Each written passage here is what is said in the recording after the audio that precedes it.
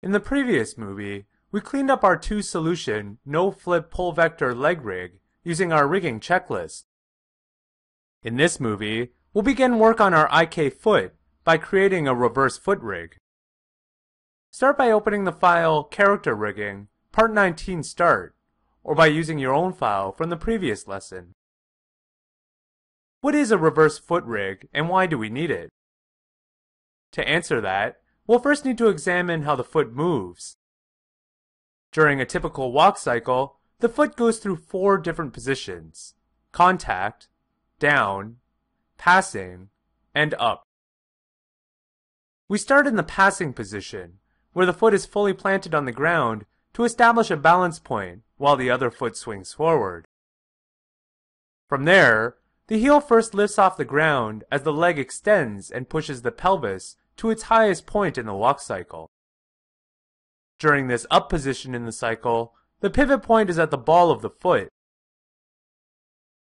This leads into the contact position, where the other foot, previously in the air, touches the ground heel first.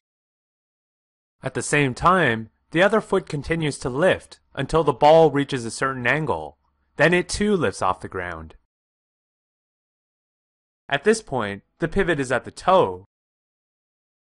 We then transition to the passing position again. As this foot is fully airborne and the other is firmly planted, the toe and ball straighten out and the entire foot rotates in preparation to return to its contact position. As the foot touches the ground, the pivot point must be at the heel in order for the foot to rotate back in the down position. Thus, to accommodate all these different foot positions, we need to give animators power over all these pivot points. If we look at our leg rig, the IK handles we created in part 13 to control the leg and foot joints are currently parented to the left foot control. We'll modify this setup into a reverse foot rig to enable a new range of controls on the foot while preserving its connections to the leg rig. Start by creating three locators, each representing one of the pivot spots we just discussed. Rename them heel loc, ball loc, and toe loc, respectively. Point snap ball loc and toe loc to their respective IK joints.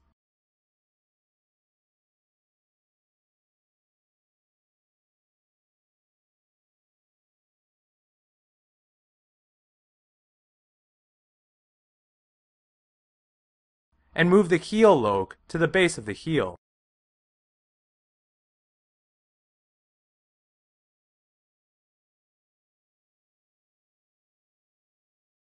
Now we need to figure out how to parent all these locators to get the desired pivot rotations.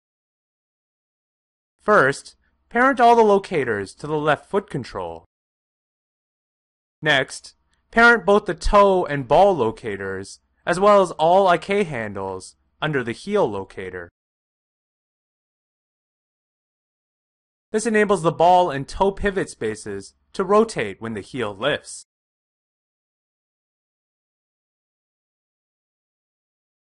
However, in order to create a foot roll, the ankle needs to move up when the ball rotates up.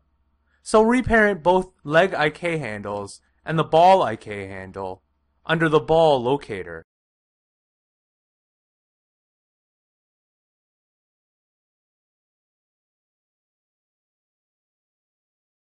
Following the same logic, to roll the foot onto the toe tip, parent the ball locator under the toe locator.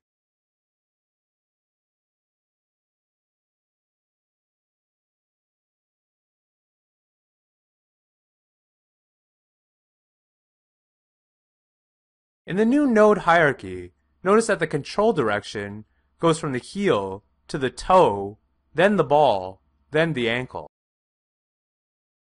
As one final bit of housekeeping, we're also going to move the no-flip knee group under ball loc. This is a matter of precision. The ball loc currently determines the position of our left leg IK handles more precisely than the left foot control as a whole. We'll also reparent the IK leg dist end locators here for the same reason. Now by rotating these pivot locators, you can animate a foot's roll and heel lift, the cornerstone motions of our walk cycle. That said, we'll want to add some custom attributes to our foot control to manage the rotation at each of these pivots. Select the left foot control and add three attributes.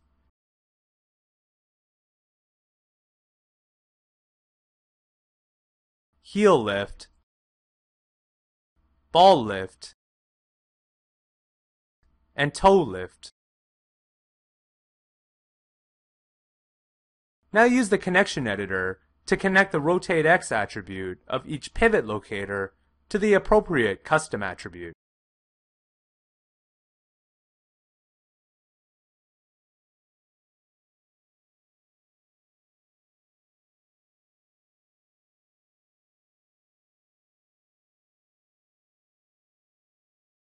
Each attribute controls a separate locator.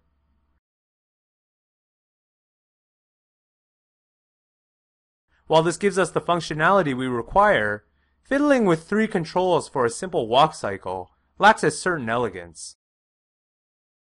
In the next movie, we'll alter our current foot rig to make it more efficient for animators to use.